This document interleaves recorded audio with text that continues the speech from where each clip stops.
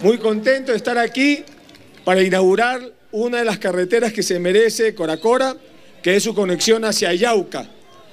Por eso lo estamos haciendo hasta Laque. Esos 20 kilómetros falta todavía algunas, eh, algunos, eh, ¿cómo se llaman? Detalles, retoques, por eso decimos hasta Laque, pero es ya la carretera a Yauca. También vamos a hacer la carretera de Chala hasta Incuyo y también la carretera que hemos inaugurado a Pausa, esa tiene que llegar hasta Colta, Oyolo, Cotahuasi, para poder articularnos.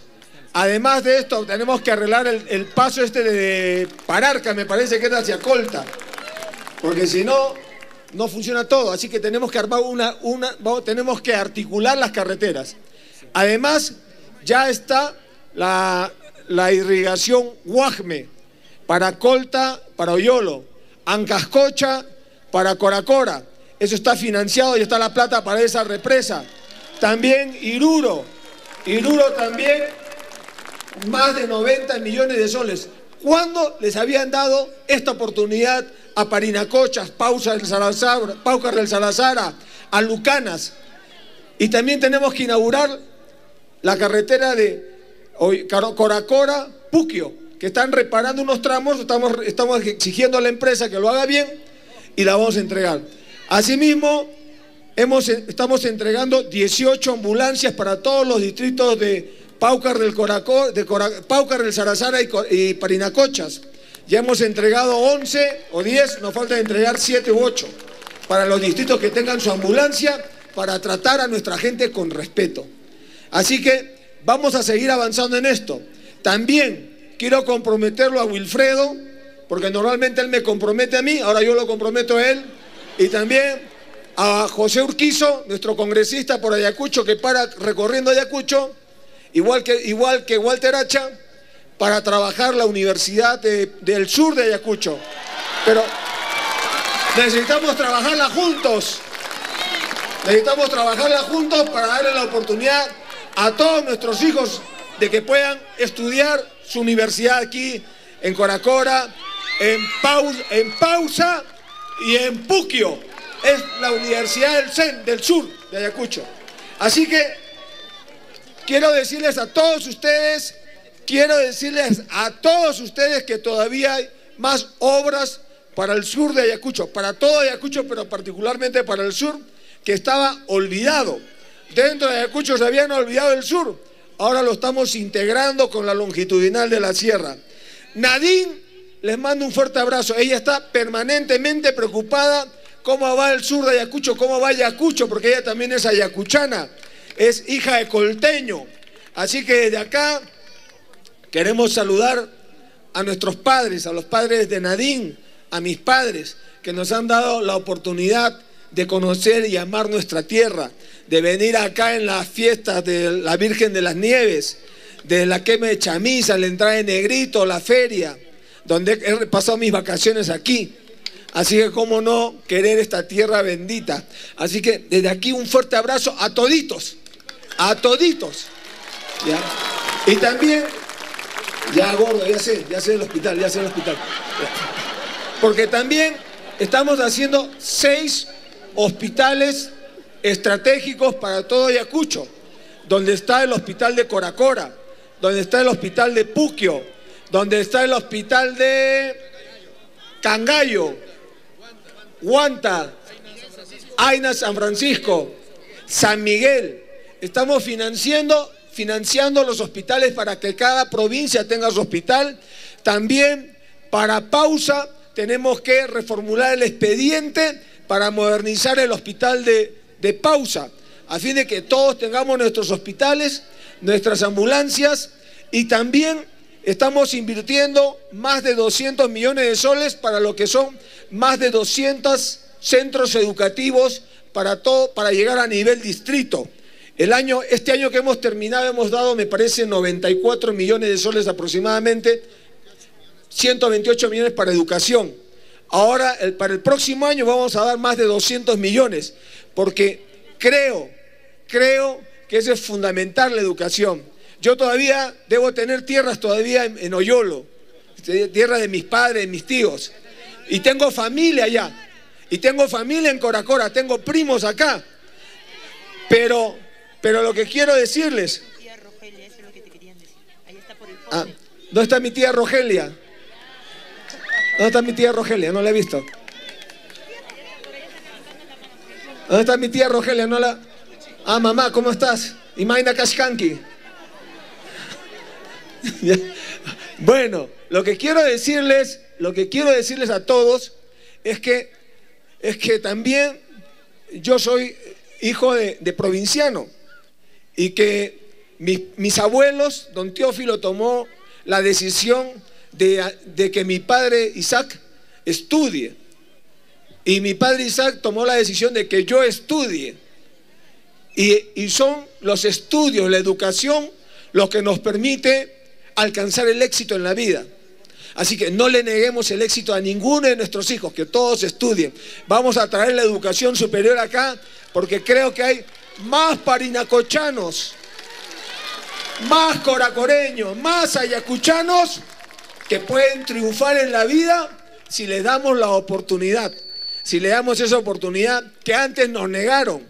Hoy día Perú tiene que ser una tierra de oportunidades. Es por eso que quiero darles todo y si tuviera más les doy más a todo lo que es Ayacucho, porque Ayacucho siempre estuvo relegada.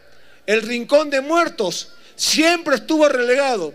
Y acá en Ayacucho, en Huamanga, en las Pampas de la Quinoa, se selló la independencia del Perú. Así que el Perú le tiene una deuda histórica al pueblo ayacuchano. Yo vengo ahora a rescatar y a saldar esa deuda, porque tengo en mis venas sangre ayacuchana, igual que mi esposa Nadine, sangre ayacuchana, y mis hijos van a venir también aquí a conocer esta tierra bendita. Así que en cualquier momento les caigo con mi familia para las fiestas, para rendir culto a nuestra patrona, a la Virgen de las Nieves, ¿no? Comer nuestros pastelitos, nuestros ponches y ver las corridas de toros. Así que espero que me hayan preparado bizcochuelos y maicillos para llevarme a Lima, para llevar para llevar a mis hijos, para que conozcan, para que prueben. Los quiero mucho, a todos ustedes, la verdad estoy muy emocionado. Pensaba hablar de otras cosas, pero cuando los veo y cuando veo mi tierra, donde he, jugado acá de niño, donde estaba el cine a la vuelta de la iglesia, y iba de niño nos, metíamos ahí a ver películas mayores de 14 años en esa época. Y encontraba a todas mis tías ahí en las películas, en el cine, viendo las películas. Así que con todo eso quiero decirles que los quiero mucho. Mi compromiso sigue siendo con Ayacucho, con mi tierra, les mando un fuerte abrazo de parte de Nadine, que hubiera querido venir aquí, pero hoy día estaba trabajando también, porque para nosotros no hay, no hay ni Navidad ni Año Nuevo, seguimos trabajando todos los días, no hay sábado y domingo, porque la gente necesita desarrollo. El Perú es un país de libertades, pero no de igualdades. En nuestro himno cantamos, exaltamos la libertad. Yo quiero trabajar ahora por la igualdad, para que la gente, nuestros hijos, tengan las mismas oportunidades que los chicos y chicas que nacen en la costa, que nacen en Lima, que tienen universidad tecnológica, hospital, tienen pistas, tienen todo. Ahora quiero darles eso a ustedes. Por eso estoy construyendo las carreteras. Porque ya he pasado yo de niño, pues en Sarazara subíamos por Chala por el conventillo, creo que era el convento, Reventazón, toda esa zona ya le he pasado. Y uno iba con el corazón en la boca, porque había que pasar por una serie de, de precipicios. Necesitamos carreteras. ¿Cuánto tiempo se demoraban para salir a la costa de Coracora, para salir a, a Chala? ¿No? Y si es que no se malograba el carro, ahora con pista, manejan con cuidado nomás y vamos a seguir construyendo las carreteras, porque también nuestros hermanos de Pauker del Sarazara también merecen su carretera. Así que carreteras, hospitales ya son una realidad. Proyectos de irrigación son una realidad. ¿Cuándo les han puesto más de 100 millones en irrigación? Guajme, Angascocha, Iruro. Vamos a sacar también Tuxo. y tantas otras obras de irrigación que requieren nuestros pueblos, nuestros agricultores. Así que bendito sea Ayacucho. ¡Que viva Ayacucho! ¡Que viva el nacionalismo! ¡Y que viva el Perú, carajo! Muchas gracias. Han sido las palabras del presidente de la República, quien ha mostrado su compromiso con todo el pueblo ayacuchano de continuar con las obras de conectividad, entre ellas las carreteras, indicando de que se ha avanzado considerablemente para conectar a esta región y a sus provincias con la costa reducir los tiempos de viaje, un mejor tránsito. Invitamos al señor presidente de la República, seguro, a todas las autoridades completamente pavimentadas. Y también a los asistentes también el jefe de Estado ha mostrado su compromiso para construir un hospital en el distrito de Coracora. De igual forma, la universidad, Muchas gracias. los jóvenes puedan tener estudios superiores, puedan acceder a estudios superiores sin la necesidad de estar trasladándose varias horas hasta llegar a otras provincias, a otras ciudades de mayor población. Gracias. El jefe de Estado se traslada en estos momentos por la plaza principal, continúa recibiendo el saludo de los pobladores, quienes están muy alegres por esta visita, por los anuncios realizados y por la vía que el día de hoy ha sido inaugurada de manera oficial, reduciendo considerablemente los tiempos de viaje, lo que antes se demoraban siete horas y medias para trasladarse desde la provincia de Parinacochas, Lucanas, hasta